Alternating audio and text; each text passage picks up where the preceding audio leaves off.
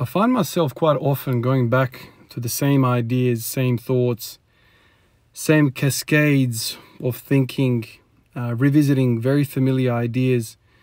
And it feels like each time I come back to a certain idea, it's almost like I dig a little bit deeper and seek a little bit more understanding. Um, I remember even back in the day when I was studying, you know, sitting down and studying one topic for a billion hours in a row was always very hard work for me. But if I broke it up and I did a bit of chemistry, then I walked off, did a bit of biology, then I sh shot some hoops in the backyard, and then played a video game, come back. You know, I find myself if I do that, like I, I you know, it's almost like I stay fresher, and it's like a mind cleanser, palate cleanser. You know, and and I feel like my ideas, my thoughts, my thinking about squatting, deadlifting, you know, getting stronger follows a similar pattern where I find myself coming back to similar ideas. And uh, this morning, again, you know, I pulled up the same freaking videos of Louie Simmons talking about his business, you know, the squat, the box squat, you know, the, the Westside Barbell Boys and all that stuff. Man, I swear, some of these videos I've seen in excess of 20 times. Same ideas, you know. I, I remember the first time I got exposed to Louie Simmons, I found him very hard to understand, like the way he speaks, the way he carries himself, the way the way his ideas come together. He's it's almost like he's speaking about, you know, to him very very simple ideas, but to you know fresh eyes, fresh ears, you know, somebody that's nowhere near the experience level as him. It's like these ideas that he drops are, are, are huge, and very hard to digest. And you know, then he moves on quickly to another thing. It becomes overwhelming very quickly. But this morning again, um, I revisited the same old videos about box squatting. And it, like I said, the, the cascade of thinking that led this down this path was the pin squats. You know, yesterday I did deadlifts, today I was planning to do pin squats, and I'm trying to do pin squats every other day. You know, and, and then I started thinking about my squat rack and how it's uneven. I thought, well, maybe I should do some box squats instead. And last time, a few days ago, I did box squats. It was quite hard. I didn't really like the the, the the feeling of that felt alright, but I was wondering could I could I go lower and how low is low, and then you know go on you know Google, you type in box squats, and you know at least my cookie history, my cookies on the internet always lead me back to Louie Simmons, and so I started you know watching this seminar, like a 42 minute seminar of him talking about box squatting and chains and bands and all that stuff, and and then I found myself you know thinking about that. And and then the spark for today's session was when he said that he used to squat on milk crates back in the day when he was like whatever 16 17 years old. He went from a 410 squat to a i forget now a, a, a 460 in six months or something like that. He stopped free squatting altogether. And just started box squatting. He was using like a shoulder width initially. And then later on he worked out that it was much more beneficial to go wider to engage the glutes and the hamstrings a bit more. And and then that kind of sparked me. you know, the, the, one thing I don't like about box squatting is when it's really high. And then I was like, why don't I like that? Like, I'm a fan of pin squats, very high pin squats. What's the difference?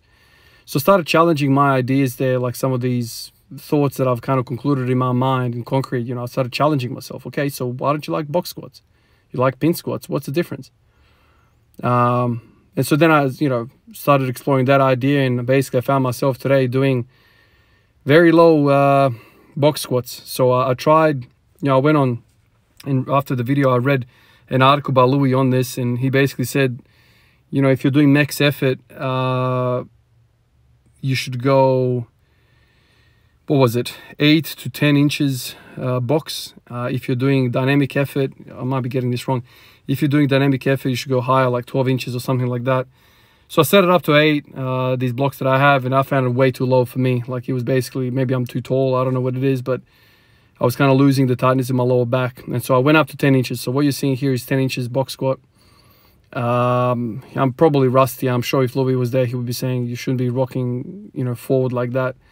Uh, but anyway, uh, you know, I'm not very good at it yet, but uh, I think that the the takeaway with box squatting is that it, it does break the eccentric concentric portions and it, and, and it makes you produce power from absolute ground zero. It makes you engage the hip flexors and I was very, very happy about that. I started feeling my hip flexors as though I was doing, you know, high knees and, and you know, leg raises and hanging leg raises. Um, and I, I was I was humbled, man. I could not believe how heavy 100 kilos was for me. Now I don't know exactly whether people are stronger in box squats than free squats.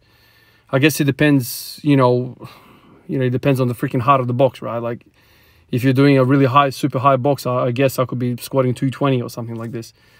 But if you're doing the ATG type thing, like you know, uh, really low, like a 10 inch or 8 inch box, I would imagine that it's very, very uh, much, much more difficult than a free squat because there's no stretch reflex and it's it's very taxing. Um, so Louie Louie recommends doing doubles. You know, work up to a weight that you can kind of do doubles with. Um, and he, he he said in one of the videos he you know often has done like 12 doubles. You know, working up to that 25 rep total rep range. Thought about that, and uh, I thought I'm quite new to this. So I don't want to load the weight yet. Um, so I decided let's just go five by five. Ended up doing five, and then I thought I still want to do more. And in fact, I, for this session, I planned to do front squats afterwards, free squats.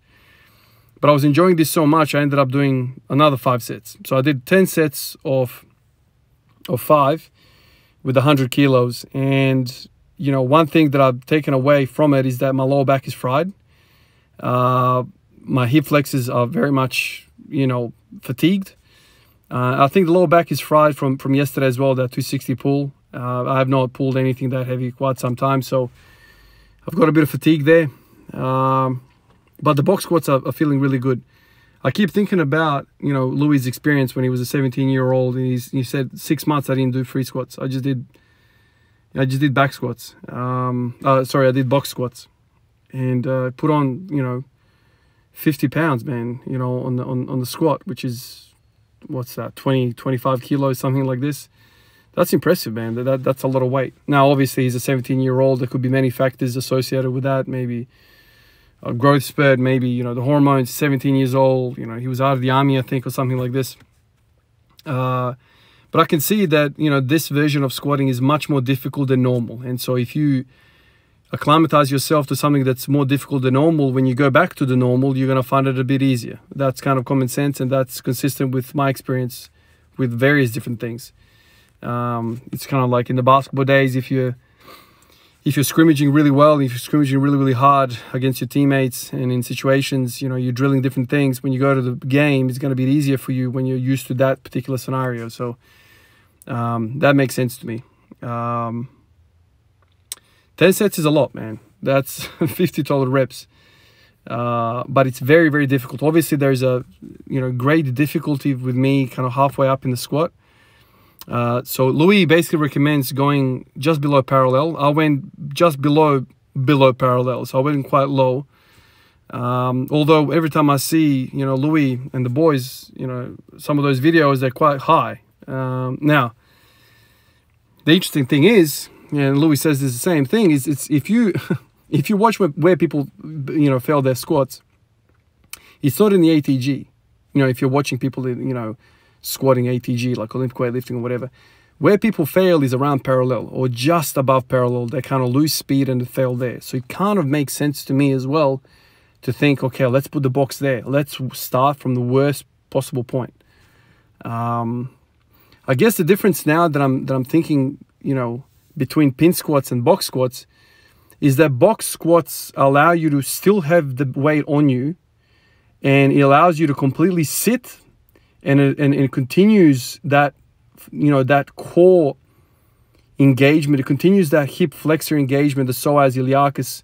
All of the you know core muscles are engaged, and then you kind of send your legs to work again. Uh, whereas pin squats, once that weight is on the pins, you're basically nothing is working anymore. It's completely off. So I think that's where a benefit could lie. Uh, there's more time under tension, let's say, you know, through the core. Uh, so anyway, I had a lot of fun today, and right now as I'm speaking to you guys, man, I'm thinking to myself, I want to go back and do a couple more sets, but I won't. I won't. Ten cents is a lot. Um, am I going to be sore tomorrow? I'm not sure. The other good thing that I, I already mentioned this, I find it so freaking good when you find an exercise that is very specific to your exercise that is so freaking hard, man. It's so freaking refreshing. It's so nice to know you don't have to fight 180 all the time, 160 all the time, 200 all the time. I'm doing two plates. When I was unracking these weights, I was like, this is light as, man. But then you sit on the box and you're like, Jesus, this is difficult to get going again. Um, it's almost like weakness found moment. You know what I mean? Anyway, that was my day. I have not done one of these in a very long time where I just literally come in, do one exercise, and I leave. That has not happened in a very long time. But today I did it with box squats. Um, tomorrow I've got a night shift and whatnot, so I might just come back and do this for the next few days. I don't know. I have to think about it. Tonight, when I get a free second, I'll I'll continue to, you know, listen to Louie and some of these ideas. Um, it's just interesting how we are so cyclical, man. Biology is cyclical. Our hormones are cyclical. Our days are cyclical. The freaking universe is cyclical. The earth, we're all kind of going through space. It's all very, it's almost like very repetitive. And I wish I could put my thoughts on a graph to see how cyclical is cyclical. You know what I mean? Like how often, uh, so, you know, this little idea about Louie, and, you know, I've thought about Louie and his methods many, many times before, but this time I reckon I've gone a, a level deeper in understanding. It's so interesting how you could have somebody teach you everything, you know, with one one particular instance, one exposure, but you could have that same chat over and over again. It's kind of like that idea you read the same book a hundred times, and on the hundredth time you're gonna get something different out of it, man. Isn't that amazing? I find that so freaking amazing.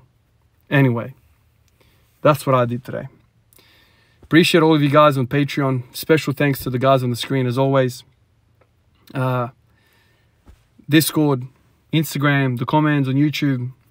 Appreciate you guys. I'll catch you guys in the next one. Peace out.